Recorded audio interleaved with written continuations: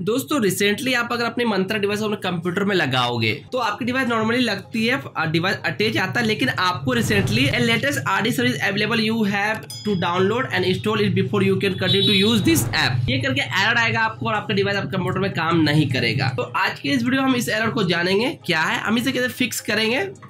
आज की इस वीडियो प्रॉपर डिटेल समझने वाले हैं। अगर आपका नया Mantra device M F S one one zero नई वाली डिवाइस एल वन है और आपको चलाने में परेशानी आ रही है तो आज के इस वीडियो में प्रॉपर डिटेल के साथ समझने वाले वीडियो काफ़ी इंफॉर्मेटिव होने वाली है, वीडियो को बिना एक पल स्किप किए एंड तक बने रहिएगा। तो देखिए जो एरर आ रही है ना, ये एरर का मतलब सिंपल ये कि इसका नया वर्जन लॉन्च हो चुका है। ख्याल रखें कि ये मोबाइल के लिए भी और कंप्यूटर दोनों के लिए लॉन्च हो चुका है।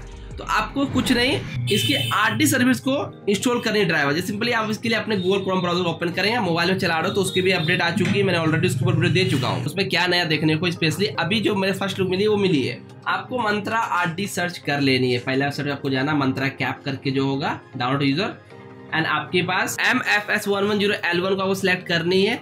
एंड यहाँ पे आपको आर डी सर्विस के अंदर आनी है, जो यहाँ पे नया वर्जन जो लॉन्च हुआ पॉइंट थ्री था पहले, अब one point zero point four इसे आपको download I am not a robot करते के साथ यहाँ पे कर लेनी है। आपको यहाँ पे टॉप पर डाउनलोड शुरू हो जाएगा। डाउनलोड होने के बाद ये सिंपली आप यहीं से इंस्टॉल एक बार क्लिक करके करेंगे। आपको जो पॉप वगैरह आती है, वो लेगा।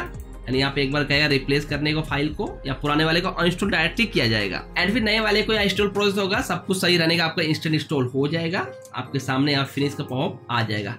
अभी क्या करनी है आपको? अपने डिवाइस को एक बार निकाल कर लगानी है। इसे निकाल कर डायरेक्ट लगाते हैं डिवाइस अटैच आता है। थोड़ा सा वेट करेंगे। पावर रेडी टू यूज़ आ जाएगा। यानी आपका डिवाइस जो कंप्यूटर में काम करने के लिए रेडी हो जाएगा। कई लोगों का कमेंट आ रहा है कि विंडो सेवन उनका वर्क नहीं कर रहा विंडो टेन लिख के एरर आ रहा है। तो अगर कोई सोल्यूशन आती है तो मैं ज़रूर उसके लिए वीडियो दूँगा। उसके छोटा काम कर चैनल को सब्सक्राइब वीडियो को ज़रूर लाइक करो। और आपको मनता डिवाइस पुराने वाले नए डिवाइस कितने ट्रेजर का डिफरेंस है, अंतर है। आपको जानना था। ऑलरेडी मैंने इसके ऊपर वीडियो दे चुका हूँ। सामने वीडियो चेकआउट कर सकते हैं। आई होप ये वीडियो आपके लिए हेल्पफुल और your. Thanks for watching this video.